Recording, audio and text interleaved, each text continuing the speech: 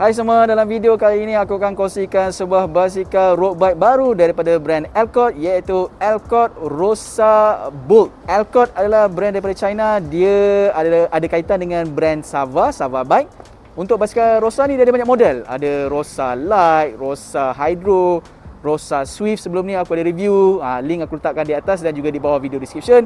Dan sekarang nanti kita akan tengok apakah perbezaan antara Rosa uh, Swift dan juga Rosa Bolt yang ini. Sekarang aku berada di kedai Modern Cyclery Studio di Senawang dan macam biasa jika korang datang kedai ini, korang sebut nama channel TV Kacak, korang akan dapat free gift sementara stok masih ada. Link kontak kedai aku letakkan di bawah video description. Alright, jom saksikan video ini.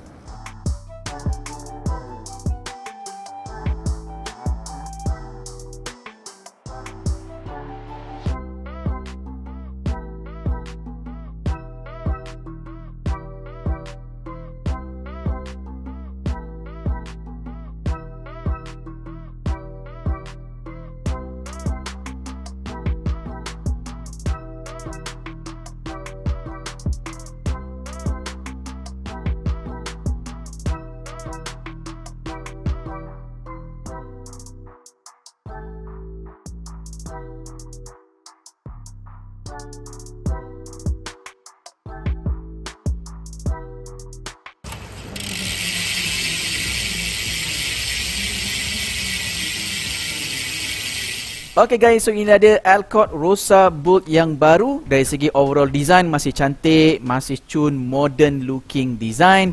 Dan dia memang sama macam Alcott Rosa Swift Yang aku dah review Video, link aku letakkan di atas dan juga di bawah video description. So yang perbezaan utamanya adalah warna lah. So warna Rosa Bolt yang warna biru, biru metalik ni memang cun Memang berkilat, memang lawa. Dan satu lagi color adalah warna grey Uh, geometry frame basikal ini adalah sejenis aerobike dan material frame yang digunakan adalah carbon T800. Dan yang paling utama adalah basikal ini, frame ini adalah UCI certified frame. Di bahagian daun tube kita lihat ada tulisan Alcott yang besar berwarna putih tapi bila lihat dekat-dekat korang boleh nampak dia macam pink sikit, peach sikit.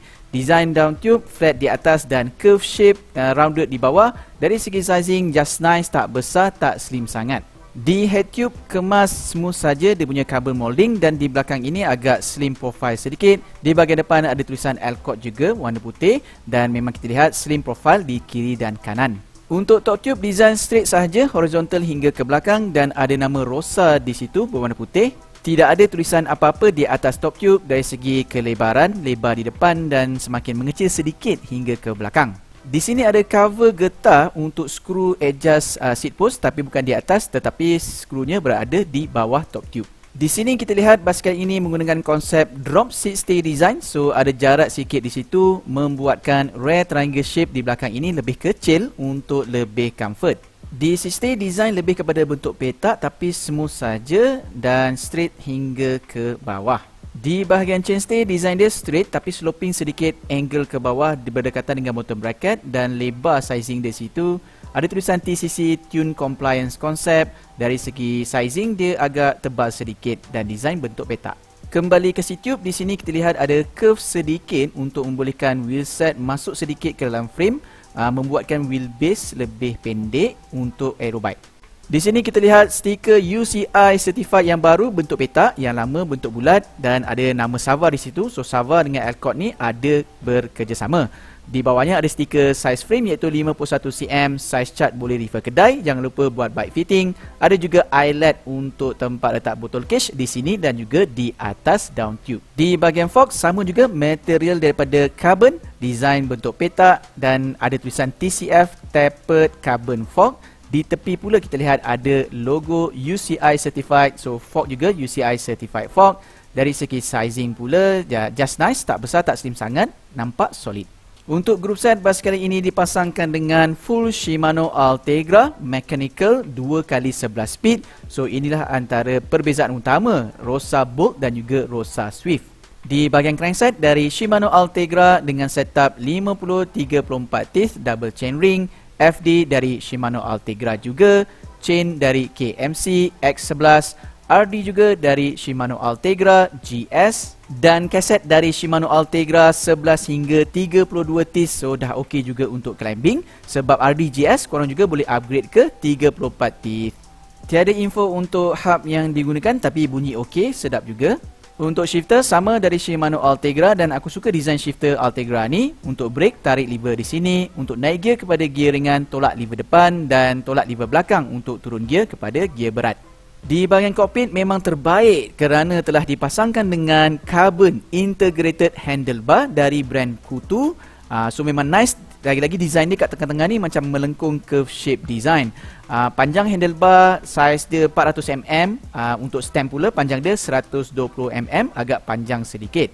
Dengan integrated handlebar ni korang punya cockpit memang kemas lah sebab kabel tu tak berserabut. Cumanya uh, untuk handlebar ni dia kurang sikit sebab kabel tu dislot inkan saja dalam handlebar di bawah ini. Uh, dia bukan betul-betul kabel tu termasuk dalam handlebar.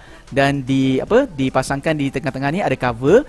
Uh, so, kalau tak ada cover tu kabel tu mungkin terkeluar yang bagusnya cover ni dia ada slot screw juga yang boleh korang letak mounting untuk cycling computer ataupun action cam so sebelum korang beli korang uh, minta mekanik untuk betul-betul kemaskan kabel ni supaya dia betul-betul masuk di dalam handlebar masuk slot itu untuk seat post dari Kutu Carbon, design dia aero shape design, memang slim.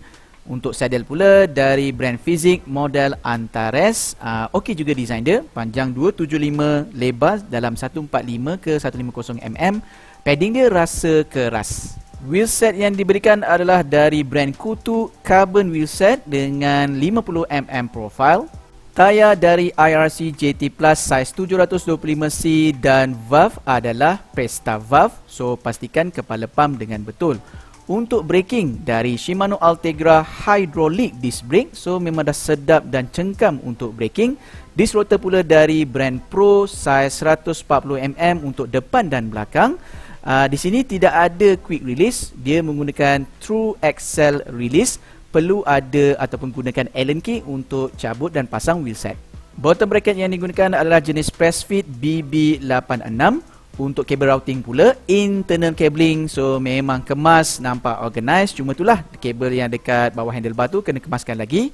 Kabel uh, untuk brake keluar di tepi fork disc brake depan kemudian kabel uh, keluar di atas uh, stick untuk ke RD dan kabel keluar di atas chain stick untuk ke disc brake belakang. Berat basikal adalah 8.5 kg tanpa pedal dan harga yang dijual adalah RM8,099 sahaja. Table comparison dengan model Rosa yang lain adalah seperti berikut. Okay guys, itulah saja sedikit kuasa aku pada video kali ini. Pada pendapat aku, harga dan spek yang ditawarkan memang dah berbaloi dan dah tak perlu fikir apa nak upgrade sebab memang dah complete dah. Shimano Ultegra, frame fork UCI, carbon reset sebagainya.